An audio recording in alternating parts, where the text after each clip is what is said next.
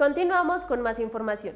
El examen de ácido úrico en sangre puede detectar diferentes dolencias como gota y enfermedades renales.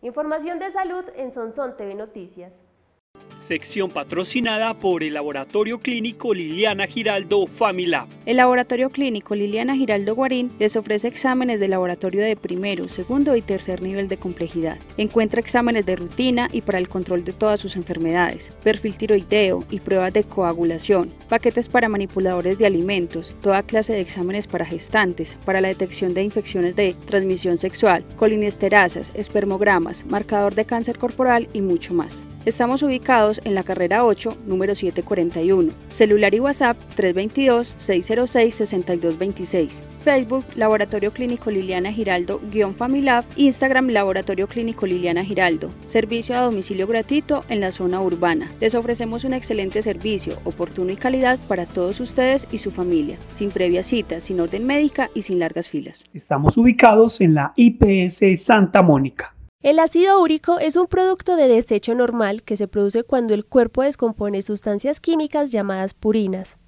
En el laboratorio clínico, cada persona voluntariamente puede realizarse un examen de ácido úrico, el cual se hace en muestra de sangre y preferiblemente en ayunas.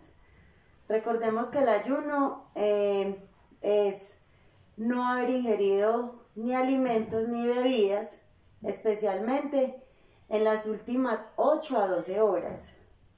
Es ideal que el ayuno no sea ni más extendido de esas 12 horas, ni que tampoco sea inferior a las 8 horas, porque cualquiera de los dos extremos podría afectar no solamente el examen de ácido úrico, sino cualquier examen que nos vamos a hacer en el laboratorio. La mayoría del ácido úrico se disuelve en la sangre y luego va a los riñones. Desde ahí sale del cuerpo a través de la orina. Si se produce demasiado ácido úrico o no se libera suficiente en la orina, puede formar cristales en las articulaciones. Esto se conoce como gota. Es el producto del degradamiento de las purinas. Las purinas son unos elementos químicos que están principalmente en algunas carnes, sobre todo en el hígado, en los frijoles y en algunas bebidas alcohólicas. Este ácido úrico, al ser el producto de degradamiento de estas sustancias, eh, se concentra en la sangre y como les decía, sale por la orina.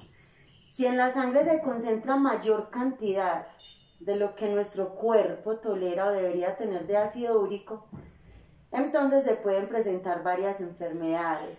Entre ellas tenemos cálculos renales, que producen dolores abdominales muy fuertes y que pueden extenderse hasta la entrepierna, eh, que pueden producir también síntomas como náuseas, vómitos e incluso fiebres. Y también el exceso de estos de este ácido úrico que lo que forma son unos cristales o unas sustancias como en forma de aguja, se pueden concentrar también en algunas articulaciones sobre todo y principalmente en el dedo gordo de nuestros pies, en los tobillos, en la planta del pie, en rodillas y codos. Si los resultados del análisis de sangre muestran niveles de ácido úrico altos, eso puede significar que tiene enfermedad de riñón, preeclampsia, una dieta que incluye demasiados alimentos ricos en purinas, alcoholismo y efectos secundarios para un tratamiento de cáncer.